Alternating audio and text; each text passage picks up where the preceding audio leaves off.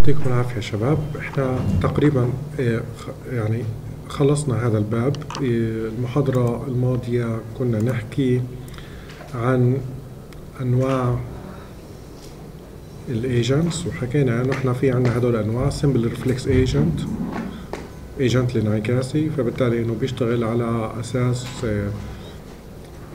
condition rules وهنا إنه النوع الثاني reflex agent with state أو موديل إنه دخلنا الموديل في الموضوع إنه هو بيشوف كيف العالم إنه هو بتطور معاه. وال goal-based agent إنه أنا agent بحط له جول إنه هو يحققه. وال utility-based agent إنه بيكون في عندي utility function كل ما ألاقي هذا المصطلح utility function معنى ذلك إنه الناتج بيكون عبارة عن number بيحدد قديش مقدار إنه آه أنا قريب من الجول تبعي تمام؟ وشفنا كيف إنه إحنا ممكن نحول هدول ال agents كلهم لل learning agent شفنا ال components بشكل سريع بهذا الشكل إنه هي لاحظ كل مرة إحنا بنضيف component جديد. هي ال component الأساسي في ال reflex agent إنه إنه كيف شكل ال environment حاليا وإنه بناء على ال condition rules بحدد إنه إيش الاكشن اللي أنا بدي آخده حاليا. هذا simple reflex و ال model-based agent إنه بالإضافة لهدول الأساسيات تمام الثلاثه إنه ضفنا هدول الشغلات المتعلقة بال state وال model. هذه الشغلة الجديدة اللي موجودة عندي.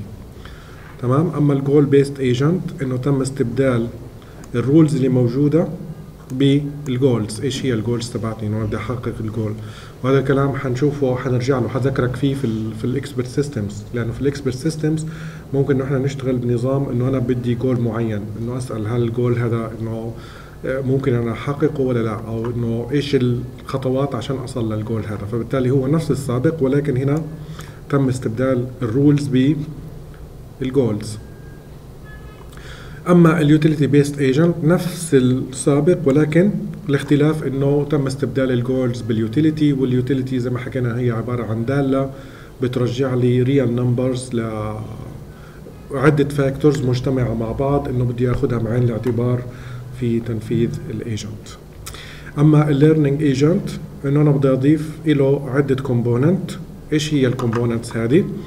في عندي ثلاث شغلات مش مرتبطة مع بعض ال critic وال learning element وال performance element هدول الثلاثة بدهم يشتغلوا مع بعض عشان إنه هو يتعلم من ال من من من خلال ال exploration يعني على سبيل المثال إنه هذا ال component بقيس لي الاداء تبعي بالمقارنة مع ال standard performance وبناء عليه بيقول لي إنه لا أنت ال performance تبعك أقل لا ال performance تبعك أشك يعني آه مختلف بالضبط. فبديني feedback فال feedback هذا أنا باخده بصير أفكر إنه في ال learning element هنا إنه بناء على تغييرات معينة أنا بسويها. طيب لو جربت كذا بروح بقيس ال performance كمان مرة تمام؟ وبروح الناتج تبعي بروح بخزنه في knowledge بهذا الشكل تمام؟ يبقى هدول الثلاثة components عشان موضوع ال learning كذلك من ضمن ال learning بدي أدخل شغلة إضافية اللي هي ال problem generator إيش ال problem generator إنه بحاول إنه هو يصطنع مشاكل معينة عشان لما تقع معاه المشاكل في المستقبل إنه يكون يتعلم كيف يتعامل معها يعني على سبيل المثال إنه هو بيكون ماشي وبروح بجرب ال brakes تبعت السيارة. في أنواع مختلفة من الطرق فبالتالي بتعلم إنه ال brake في الأرضية المسفلتة إنه بروح بتوقف مثلا بعد 3 آه متر من ضغط ال brake. في الأرضية المبلطة بتوقف بعد كذا. في الأرضية اللي عليها ثلج بتوقف بعد كذا. فبالتالي هذه بخزنها ك knowledge.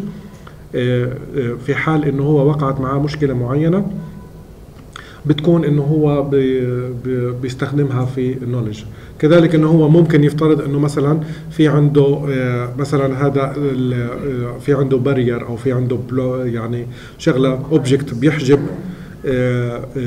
الطريق تبعه كيف إنه هو ممكن يتصرف فبالتالي إنه بجرب شغلات ثانية عشان إنه هو يحل هاي المشكلة. بجرب هو بسوق كيف؟ بجرب آه طبعا لأنه هنا إنه ال critic ال critic إنه بروح بجرب ال shocking language تبعت ال passenger تمام؟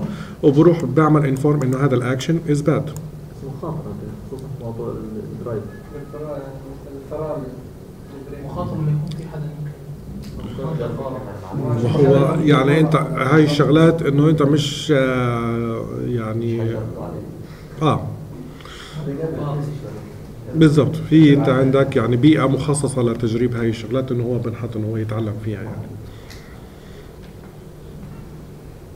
وحكينا إيش الفرق بين ال exploration وال exploitation انت بتجرب في ال exploration بتجرب شغلات كثيره وبتعرف من الشغلات اللي جربتها إيش ال good وإيش ال bad بتروح تعمل exploit بتستغل ال good behavior بتستغل ال good actions عفوا. يعني بتعمل exploitation لل good action وذكرنا أمثلة يعني على سبيل المثال إنه أنت سوقت آه، آه، وصلت ال- ال- الركاب بطريقة معينة فبالتالي هذا أدى إنه يدوا لك تيبس قليلة بق- يعني بخشيش قليل فبالتالي بتعرف إنه طريقة التوصيل هذه فيها إشكالية. تمام غير الر- الرجال الاساسي آه الإكرامية تمام؟ خلي الباقي عشانك. أو على سبيل المثال إنه أنت رحت عملت navigation أو كانت ال destination تبعتك في مكان في طرف المدينة وإنه كان في يعني ركاب خفيف أو إنه أنت يعني بتصير إنه أنت وانت بتستكشف انه انت يعني انت بتعرفش انه المنطقة هذيك فيها ركاب قليل أو لا. رحت جربت بنفسك عملت exploration فبالتالي انه في ركاب خفيف في هذيك المنطقة في المدينة فبالتالي ال exploitation انه انت إذا بيهمك انه إيه، قديش مقدار آه، الغلة اللي انت بتجمعها آخر النهار فبالتالي انت ما تروحش على المنطقة هذيك تمام؟ طيب. هاي هاي ال- الخلاصة اللي إحنا بدنا نحكيها انه انت في عندك هنا اكشن learning knowledge. والمثلث بهذا الشكل بهذا الاتجاه بهذا الاتجاه بهذا الاتجاه. وبدنا نبدأ من ال action ال action التأثير تبعها وال feedback تبعها بيؤدي إنه أنت بتتعلم شغلات معينة. والشغلات اللي بتتعلمها لازم إنه أنت تخزنها. طريقة التخزين تبعها بدها تكون structured عشان هيك إحنا بنسميها knowledge. تمام؟ طبعا إنه من الأكشن إنه أنت تتعلم فيها هذا بنسميه reinforcement learning أو التعليم بالإجبار. إيش فكرة هذا النوع من التعليم؟ إحنا اخذنا في ال machine learning supervised and supervised وفي من ضمن الأنواع أخذنا reinforcement. Reinforcement بيعتمد على الثواب والعقاب. ال action ال good بتكافئوا عليه بتعلي ال score تبعه وال action ال bad بتعاقبوا عليه وبتدي score واطي له فبالتالي يفترض إنه يتعلم إنه ما يعيدوش لأنه لا إذا أنا عملت زي هيك حيوطي ال score تبعي. تمام؟ طبعا هنا learning وإنه أنت تخزنها knowledge إنه هنا بدك تستخدم أساليب ال machine learning وال statistics أما هنا تعليم بالاستكشاف أو تعليم بالإجبار هذا بنسميه المنطقة هذه reinforcement learning. تمام؟ وال knowledge طريقة آه، يعني إنه أنت كيف بتخزنها إنه أنت بتخزنها على شكل logic معنى logic أنا بقصد هنا if then rules أو على شكل probability إنه آه والله إنه قديش إنه أنا يعني ال probability إنه يكون في passengers معينين في مكان معين إنه بنسبة 70% مثلا على سبيل المثال. ال heuristics وال inference ال inference هذا مرتبط بال logic بانه أنت بتستنتج من ال rules اللي موجوده عندك وال heuristics اللي هي عبارة عن طرق من طرق الحل.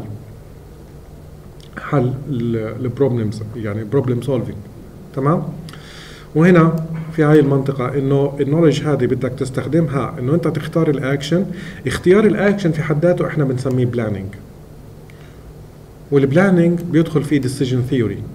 Decision theory معنى ذلك إنه أنت بدك تعمل decide إنه أنت تختار الأكشن هذا ولا الأكشن هذا. بناء على إيش؟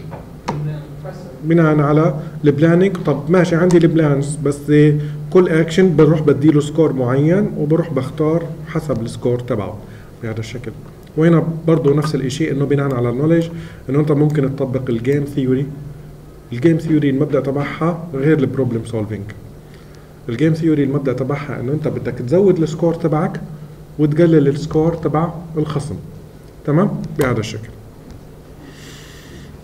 هذه الجزئية إحنا حكيناها بالتفصيل اللي هي ال reinforcement learning التعليم بالإجبار إنه أكشن من أكشن معين بروح أنا بتعلم وبناء عليه بالمرة الجاية لما أروح أختار أكشن إنه ال action ال bad بروح بتجنبها.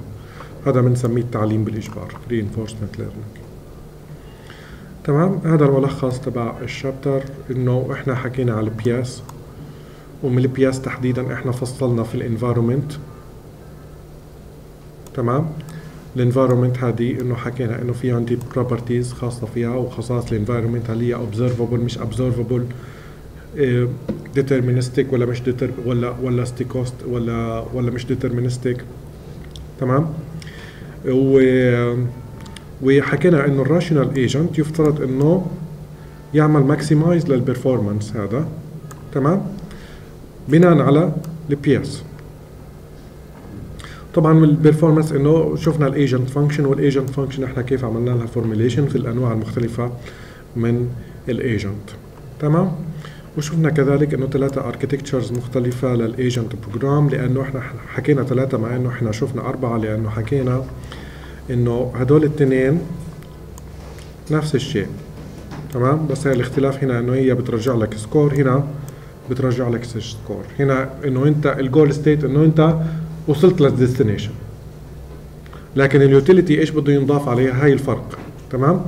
إنه أنت في ال goal based agent إنه أنت الجول تبعك إنه أنت تصل ل destination معين في التاكسي taxi driver لكن في ال utility إنه أنت تصل لل destination بأقل وقت بده يدخل في معاها خمسة scores أو أربعة scores. أقل وقت وتصل سليم وتصل آمن تمام؟ إنه السيارة فيش فيها ولا خدش بدون مخالفات بدون كذا كل هدول بدهم يدخلوا مع بعض. فهدول يعني إنه هدول نفس ال architecture بس الاختلاف هنا بدل ال goal utility function تمام؟ وهي النوع الأول وهي النوع الثاني. ثلاثة architectures تمام؟ هيك إحنا تقريبا بنكون خلصنا الباب الثاني في ال artificial intelligence modern approach هذا الكتاب. ورح نبدأ في الباب الثالث. الباب الثالث اللي هو problem solving by search تمام؟ في حدا عنده سؤال؟ في هذا الباب؟ ما فيش.